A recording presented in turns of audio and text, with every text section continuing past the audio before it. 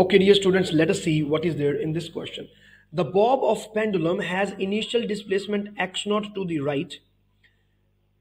Okay, x naught to the right. The bob is released and allowed to oscillate. The graph shows how the displacement varies with time, at which point is the velocity of bob at its maximum magnitude directed towards left. So we want to uh, find the point at which the velocity is maximum and that even it is directed towards left hand side. So in simple harmonic motion, as we all know that we take right hand side to be positive and left hand side to be negative. So they want negative velocity. So negative velocity means that the body is moving towards left hand side. Let us see um, where it will be.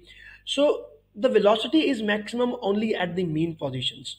So this is displacement. So this is the mean position, this is mean position, and this is mean position. So our answer will be only in A and C. B and D are out of question now. Okay.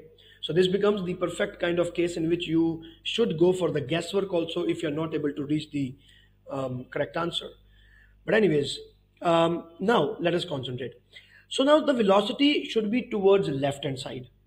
So at A, the displacement is negative. So it means that the body was at the other side of the negative side of the mean position. It is moving towards this.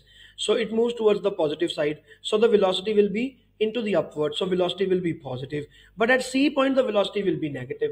Negative means now the body is moving from the right hand side to the left hand side and hence the velocity is negative and the maximum.